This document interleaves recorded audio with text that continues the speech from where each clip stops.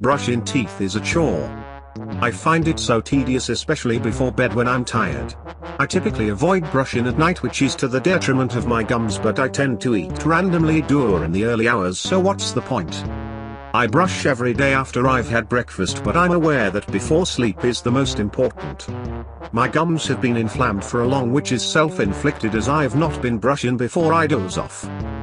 The problem is my insomnia keeps me up all night so there's no brushing before bed like regularly functioning people. Also flossing. Fuck flossing.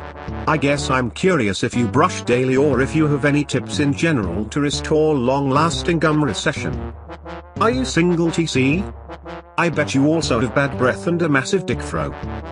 Brush your teeth twice a day, it takes 2 minutes you gross person. Get some floss picks, and a good antiseptic mouthwash too, non-alcohol. Stop being nasty. If you can't do basic hygiene I bet you will fail at everything else in life like your career and relationships. Lmao I knew it. You ain't working on yourself TC.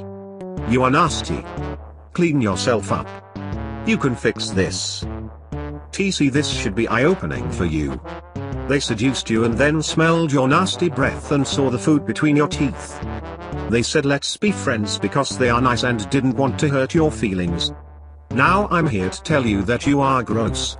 No one will ever touch you unless you clean up. This is why you are single. Go book a dentist appointment, get a manscaped buzzer, trim your nose hairs, get a haircut, and get your eyebrows threaded.